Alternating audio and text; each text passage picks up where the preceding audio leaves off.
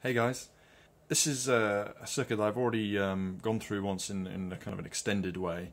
Uh, uh, this is a shortcut version for those who are just interested in how the circuit works and don't really want to see me fannying around trying to uh, explain it at a snail's pace and, and going through my own learning process as well. Um, if you do want to see the full video and it kind of shows my thought processes and uh, all the debugging of this circuit when it didn't work properly, um, all of that good stuff, um, I'll uh, I'll put a link in the description and uh, I'll make sure the two you know the other video is easy to find. The first thing is um, what the hell am I doing? So I've got this little solenoid. Um, basically, I have a need for my aquarium to want to turn um, the CO2. I'm experimenting with CO2 on my aquarium. I need to turn it on and off at night, or I want to rather, um, so that at night it's not uh, pumping CO2, and in, in the day it is. Um, this little solenoid valve uh, can do exactly that. It's uh, I got it on Amazon for uh, a couple of pounds. Um, really cheapy little thing. Uh, works great. So um, uh, I was going to use that. Now the the trick is that this thing you can't just drive it directly from a microcontroller like an Arduino, which is what I want to use, um, because this thing you know it requires a decent amount of current to run. So um, I've actually measured this one, as you can see, I've measured it, uh, its resistance at 20 ohms, um, and uh, when I run it at 5 volts, um, if we look at, I did a bit of the Ohm's law calculations up here. Um, so uh, current is volts over um, resistance, so 5 volts over 20, 0.25 amps, so 250 milliamps. Uh, and and I've measured this, and it does indeed give me around 200. You know, it draws about 250 milliamps. That's way too much for a um, microcontroller. So what we need is a circuit that allows us to dr to drive this um, this solenoid um, and switch it on and off using a microcontroller. Now that could be achieved pretty simply with just a transistor, um, and I'll explain that in, in a moment. You can uh, you can just use a transistor to um, switch this, switch the 250 milliamps or switch the 5 volts uh, across this solenoid, and that would work fine. Um, but doing a bit of research, I found a, an actually a, a, better circuit um, online. Again, I'll put the um, the link to that art, the article that I read um, uh, in the description of this video. It's uh, it's a great read um, and has uh, it goes into a lot more depth in, around this circuit and comes up with a few other variants with um, additional features. This is kind of the most basic one though. Um, but the advantage is that we massively reduce power consumption. So, um, what I want to do is talk you through that um, that circuit and explain how it works, and then show you um, show you uh, the, the, version that I've breadboarded up. Um, so first things first, how the hell does this circuit reduce the power consumption of one of these things? Now, as I said, it, it's 20 ohms, it uses 250 milliamps. However, with a solenoid or a relay or anything with a coil um, in a moving part, what you'll find is that um, th the voltage required, or the current, I guess the power required to flip the switch or move the solenoid um, is much higher than that required to then hold it once it's um, uh, you know once it's been activated. Um, I, refer to these as kind of the activation versus the hold um, power. Uh, there's probably proper terms for it, but um, you get the idea. Now the, the the theory is that that you what we'd want to do is put together a circuit that um, will pull back the solenoid, so activate it, and then drop the uh, amount of current that's flowing to just enough to hold um, the switch open until we uh, want to shut it again. Um, and in theory, that should massively reduce power consumption. Um, I've actually tested this, and you can see that on my full video. This solenoid um, will switch at about three and a half volts. Um, but I'm, I'm going to use five um, because you know the rest of my circuit works on five, and this thing's fine for five. It's actually a six volt rated one, um, so that should then flip very reliably at five volts and 250 milliamps. But then what I've done is I've used my variable power supply to drop the voltage um, once I've switched it to see where you know how much how much voltage and therefore how much current is required to hold the thing open once it's been activated. Um, that actually uh, dropped that all the way down to the lowest you know setting my variable power supply would go to, um, which is 1.2 volts or so. Um, and it still remained open. So this thing will, will hold open at, at probably around a volt or so, um, which is great. So um, what we want to do is build a circuit that will apply five, five volts at 250 milliamps for you know as long as it takes to hold the to open the, the solenoid, and then once that's done, uh, drop the voltage across this uh, solenoid to uh, only a volt and uh, make some power savings as a, as a result. Um, this would definitely be useful if you were powering this thing off of a battery. Um, you you drastically improve your um, uh, power consumption. So let's have a look at the circuit quickly. I'll just get this thing out of the way. So I've obscured part of the circuit for now, just because uh, I want to take it um, in bite-sized chunks. So here we've got um, 5 volt rail. We've got our solenoid here. Um, there's a proper symbol for a solenoid, I'm sure, but it's basically an inductor um, and with a, with an iron core. Um, and I've marked that as 20 ohms. We've got a resistor here and a diode here. So first things first, the diode isn't really relevant to the function of this circuit. Um, this is uh, called a flyback protection diode, or I mean there are various names for it. Um, it's basically a magic diode Dubry thing that um, allows a flyback path for um, uh, back EMF uh, voltage voltage spikes that are generated by any inductor. When, when you've got an inductor um, that, that has a voltage across it, when you drop that voltage through some magical principle that I, I don't fully understand, to be honest, um, the, these generate high voltages. So um, if you've ever like wired up a relay so that the coil is through its switch, you can make it buzz and it will generate massive voltages across the coil. That uses this back EMF um, uh, principle or, or, or, mechanism. But basically, if we snap the power off on this, you get a big voltage spike, like you know, ten times the input voltage uh, or more. So through, uh, to be honest, I'm not entirely sure how, but this diode will allow this inductor to feed off itself or something um, to mitigate that spike. Um, otherwise, you get 500, uh, sorry, like 300 volts or something, or 500 volts across, uh, you know, in this circuit, which is going to be bad for the downstream components. Certainly not great for your microcontroller and um, you know the transistors and what have you that we've got now further on. So this is a standard feature of a of a system with a that uses an inductor. Um, so it's just it's just shoved in there, but it doesn't affect the overall principle by which this circuit operates. But it is important. You do need it. So um, the rest of the circuit then, or, or the rest that's visible at the moment, is essentially just a potential divider. I've already put the value on here, but basically we need we want to calculate the value of this this resistor. Now the way we do that is that this is um, 20 ohms. We know that. We know that our target voltage across here is one volt. So uh, through that we can calculate what the um, what the value of this resistor should be. Um, because what we want to do is this this potential divider will become active um, once the switch is thrown or once the solenoid is thrown and so th this is the bit that defines our the current that will be flowing when um, for our hold um, hold pattern or for, for holding the solenoid open. So we do want 1 volt here as we've um, already identified. So in order to achieve 1 volt here and 4 volts here, um, that's the principle by which uh, potential dividers work, this is effectively one fifth of the voltage uh, and four fifths here. So consequently, the resistance here needs to be one fifth, and this needs to be four fifths of the total. So um, that that works out. I mean, if this is 20 ohms, then this needs to be 80. So this is four times larger resistance than this. And that will give us a total of 100 ohms across here, um, with one volt across these two, and and uh, four volts across here. Now, what that what that does, or, or the way that that reduces power consumption, it's not so much that this thing is only operating at a volt now. It's it the the reduced power consumption comes from the fact that you've got now between five volts and ground, you've now got hundred ohms rather than just twenty.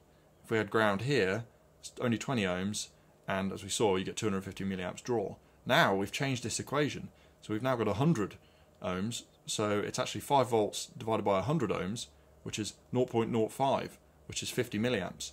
That's a five-fold reduction in um, power consumption just by putting in this resistor um, in here.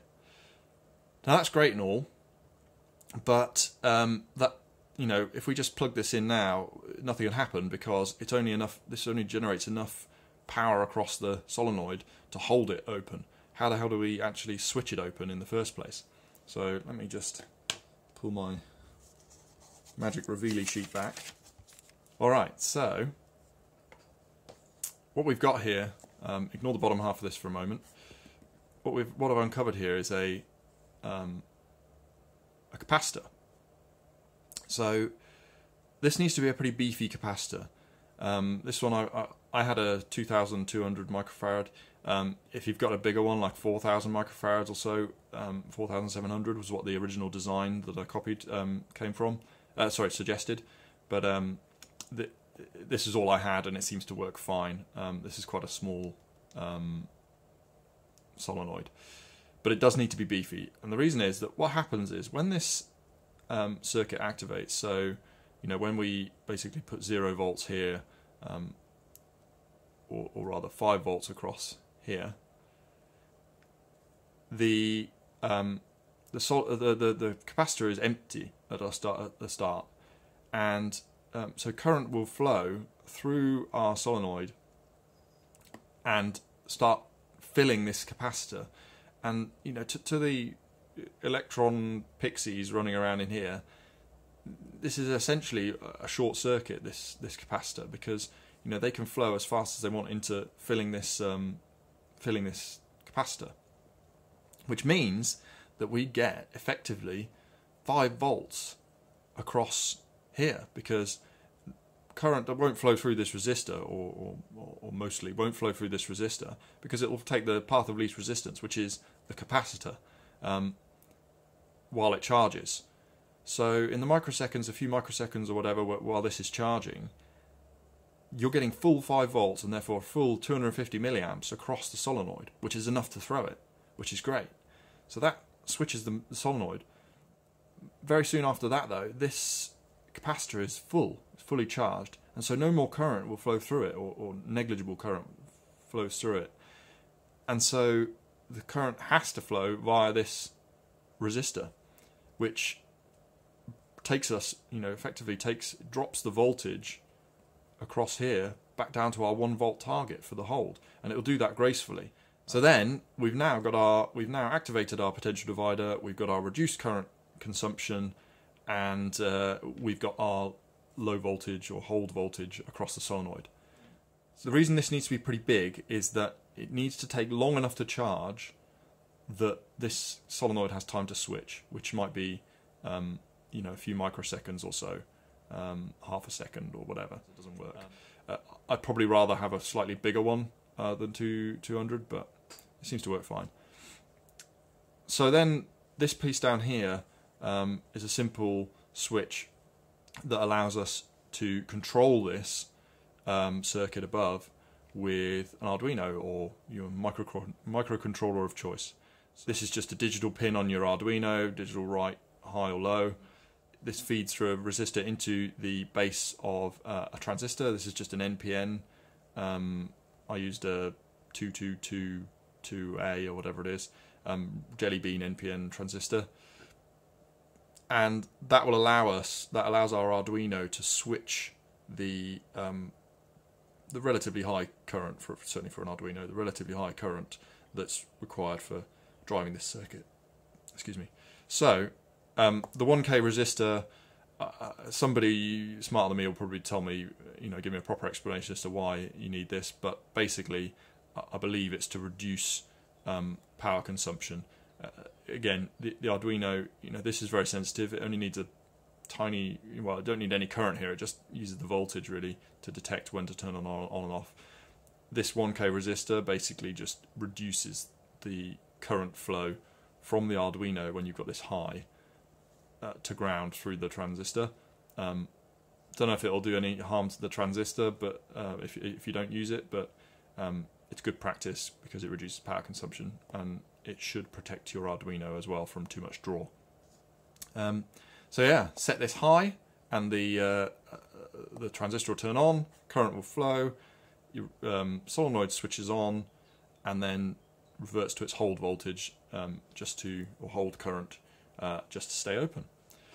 Um, so yeah, it's pretty um, pretty nice little circuit to be honest. Uh, I was quite pleased with it, um, and it seems to work fine.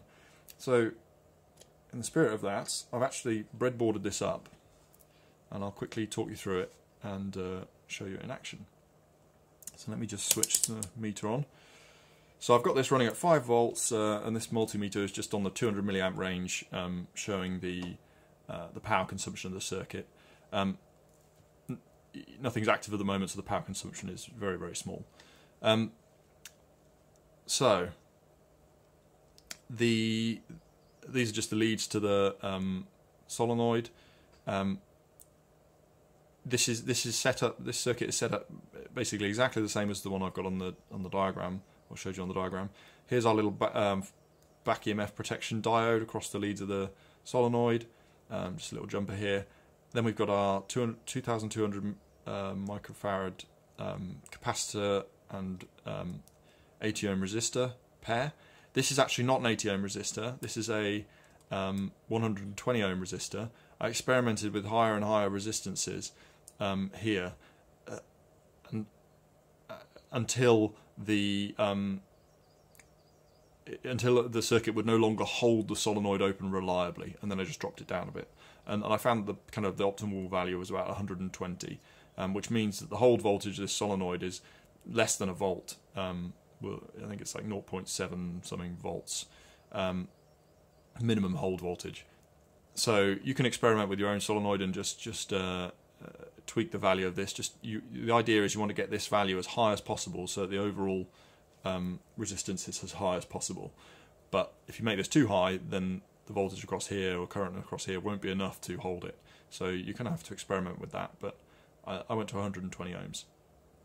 Then I've got my transistor, um, dead simple between the resistor capacitor pair and ground, and uh, we've got a, the base here connected to our 1K resistor. I've got another one in here, 1K, because the way I'm switching this is not with an Arduino, but with a, a wire that I'm going to move between um, ground and 5 volts. And this, because I'm doing that, this just um, acts as a pull-down resistor, uh, and just make sure that this, when I've not got anything plugged in, is always at, definitely, it's not floating, it's sat at 0 volts. Um, the other thing that you might notice was I've got another I've got another capacitor in here um, that's just across the power lines. The reason for that is that I found that th this uh, when this switches, it, it, needs to draw quite a lot of current suddenly and very quickly, and my power supply wasn't able to respond to that change in power demands. Um, so this capacitor in here uh, basically just provides that extra juice, um, you know, on demand. So I highly recommend you put one in your circuit. You, if your power supply's got them inbuilt, then you might not need that, but um, it, it, it, stumped me for a while, and you can see me debugging that in my in the longer video if you're interested. Um, that took me a while to figure out. So let's let's quickly test that. Um, but you can keep an eye on the meter down here, and you can see the the power consumption uh, change. Uh, it's in the milliamps range. So let's just uh, power this on, and hopefully it'll work. I just had some dodgy breadboard connections there, so now you should be able to hear it clunk. There we go. And our power consumption spikes and then drops down to 44 milliamps roughly, um, which is obviously a massive improvement over 250 milliamps. Um, and we've got a nice little circuit that we can drive from a microcontroller. You do need to take care that you can't switch it too often. If you try and hammer it, it won't work because the capacitor needs a chance to uh, drain after you disconnect the um, the power. You can do it once every two seconds or so. Cool. So let's just quickly draw in that extra capacitor on the power supply and uh, then we're done. So that goes in here basically.